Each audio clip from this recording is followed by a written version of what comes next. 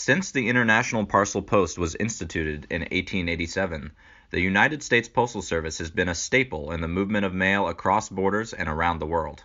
Today, the Postal Service moves millions of kilos of mail internationally every week on behalf of American civilians and the military. The movement of such large volumes of international mail relies on several parties, including air carriers and foreign postal administrations. This is an operations heavy process where everyone needs to remain in sync to ensure mail is delivered on time to the right destinations in over 180 countries. Because mail assets are transferred among multiple parties, current operational processes result in pervasive data silos that are opaque and therefore highly reactive. Our clients in charge of international mail operations had a vision for a new operational system based on blockchain. Blockchain, or distributed ledger technology, allows all parties to share a single trusted data set for mail operations that is co owned and co located for all the participants.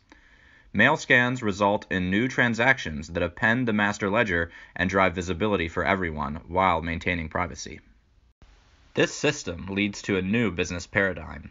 Instead of each organization updating their own database, these orgs can now update the single shared database with data relevant to multiple parties. USPS benefits from better mail traceability, operational effectiveness, and reduced needs for reconciliation. In turn, other participants, such as air carriers, benefit as well from shared operational transparency and reduced needs for reconciliation. Each year, the Postal Service pays hundreds of millions of dollars to air carriers, with a significant amount of these payments ending up in disputes. By using a single shared and trusted system enabled by blockchain, the majority of these disputes can be mitigated or eliminated entirely. Meanwhile, the system listens for operational events across the business network and can escalate alerts to key stakeholders in real time. A major shift from reactive to proactive.